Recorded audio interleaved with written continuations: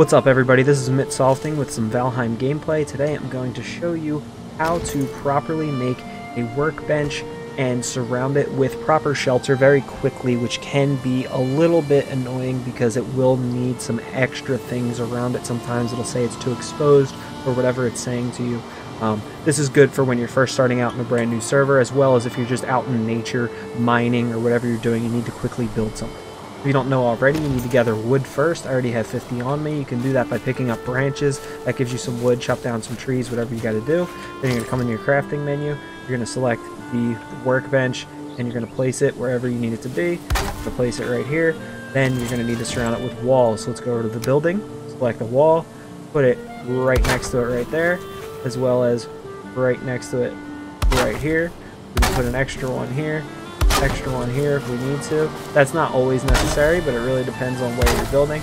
You got to surround it in the back, and then we're going to come in here. We're going to pick one of these thatch roofs. It has to have a roof over it, so we're to put that just like that. see if that works, and it did.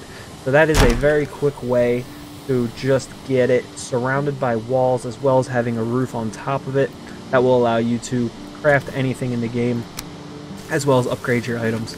Um, if you did find that useful, I would very much appreciate it. If you would like the video, subscribe to the channel. I'm going to make more tutorials on Valheim and be playing it constantly. Maybe post a couple more boss fights. We'll see what happens. I am live every night at twitch.tv slash. Hope you have a great day.